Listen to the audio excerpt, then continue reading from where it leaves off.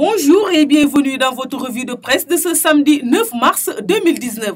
Les journaux parvenus ce samedi au groupe Média du Sud s'intéressent en priorité aux engagements pris la veille par le président de la République en faveur de la promotion de la femme tout en occultant par l'actualité politique. Nous allons davantage renforcer les droits des femmes mention à sa une Le Soleil. Le journal cite le président Macky Sall qui intervenait lors de la cérémonie officielle marquant la célébration de la journée internationale des droits des femmes. La manifestation était organisée sur le thème leadership féminin, autonomisation économique, innovation dans le contexte de la deuxième phase du plan Sénégal émergent. Le président Macky Sall a réaffirmé sa détermination à œuvrer pour l'égalité des genres et l'éradication de toutes les formes de discrimination à leur égard, souligne le journal dans ses colonnes en reprenant encore mon second mandat qui débute en avril sera principalement réservé aux femmes et aux jeunes et consacrera davantage des droits aux femmes. Macky Sall les femmes, estime de son côté Sud Quotidien, faisant part de l'engagement du président de la République de consacrer son nouveau mandat à la promotion féminine.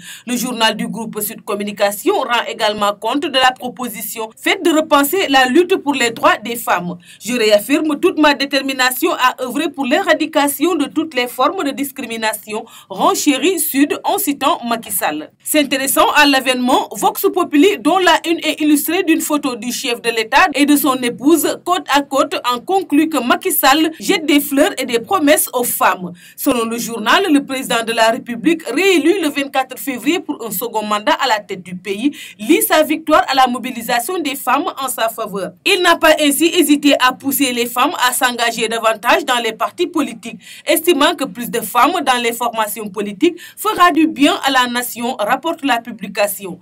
Évoquant cette partie du discours du président Sall, le quotidien y voit une voie, une manière de draguer les femmes en perspective des investitures pour les élections locales prévues en décembre 2019. Il ne faut pas que les femmes aient peur d'intégrer les partis politiques. Plus de femmes dans les partis nous fera tous du bien pour avoir plus de femmes ministres.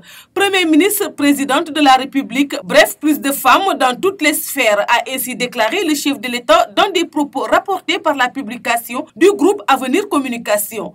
Du moment que Wolf Quotidien a préféré mettre en exergue l'actualité politique en anticipant l'échec du dialogue voulu par le président de la République après l'officialisation de sa réélection pour un second mandat.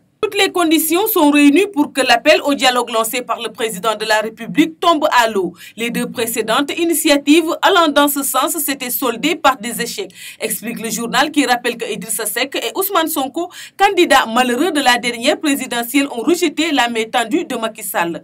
De son côté, Enquête analyse les implications de la non-participation de Khalifa Ababakar Sall et de Karim à la récente élection présidentielle et évoque à ce propos des destins croisés. Pour autant, tenant compte de l'avis de spécialistes rapportés dans ses colonnes, le journal n'enterre pas ces deux acteurs politiques. Le Parti démocratique sénégalais, PDS, parti opposition, et les partisans de Khalifa Sall, khalifistes, sont présentés comme les grands perdants de la présidentielle, mais tant que Maître Ouad sera là, le PDS restera, tandis que Khalifa Sall peut bel et bien rebondir.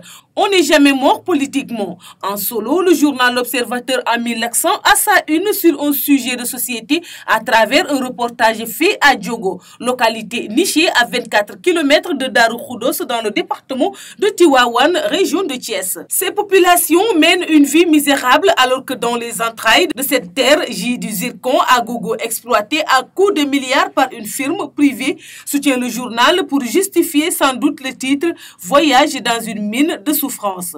C'est tout pour la revue de presse parvenue à la rédaction du groupe Média du Sud. Merci de nous avoir écoutés. Quant à moi, je vous souhaite un très bon week-end et vous donne rendez-vous lundi. Au revoir.